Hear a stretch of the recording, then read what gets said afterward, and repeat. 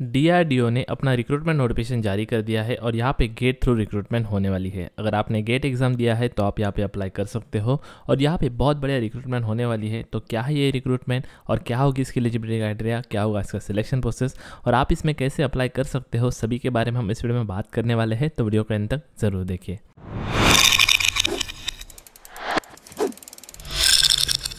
अगर आपको वीडियो पसंद आएगा तो इस वीडियो को लाइक करना, अपने दोस्तों के साथ शेयर ज़रूर करना ताकि जो भी एलिजिबल है वो इसमें अप्लाई कर सकता है। आपने लास्ट कुछ वीडियो को बहुत बढ़िया रिस्पांस दिया। आई होप सेम रिस्पांस आप इस वीडियो को दोगे।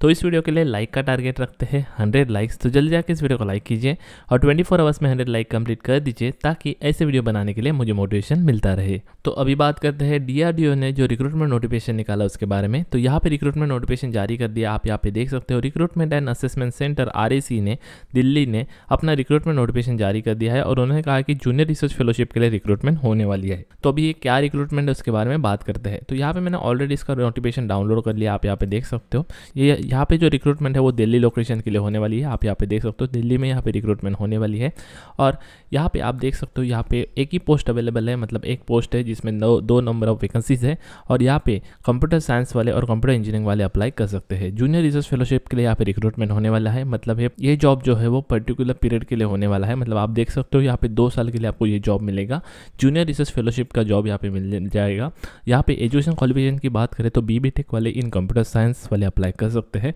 बट यहाँ पे आपको मिनिमम फ़र्स्ट क्लास होना चाहिए और आपके पास गेट स्कोर होना चाहिए कंप्यूटर साइंस में या फिर इन्फॉर्मेशन टेक्नोलॉजी में तो ही आप अप्लाई कर सकते हो। मतलब सीएस में आपने गेट एग्ज़ाम दिया होना चाहिए तो ही आप अप्लाई कर सकते हो।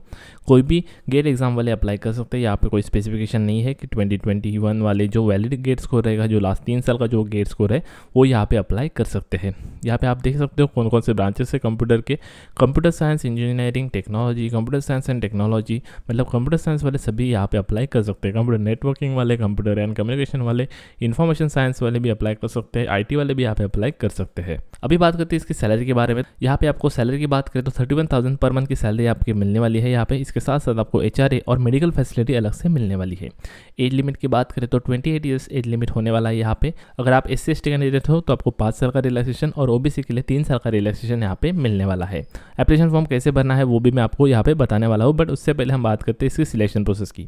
तो सिलेक्शन प्रोसेस की बात करें तो यहाँ पे पर्सनल इंटरव्यू पे सिलेक्शन होने वाला है।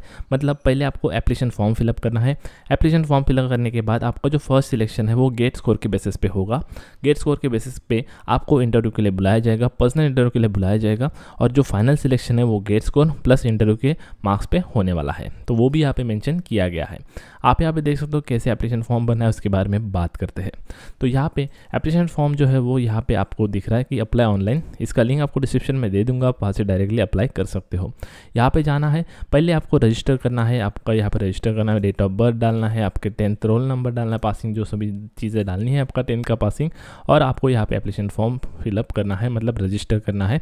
रजिस्टर करने के बाद आपको लॉग करके एप्लीकेशन फॉर्म फिलअप करना है। तो बहुत सिंपल प्रोसेस है। अगर आपको एप्लीकेशन फॉर्म भरते समय कोई भी डाउट है तो आप मुझे कमेंट सेक्शन में पूछना, मैं डेफिनेटली आपको हेल्प करूँगा।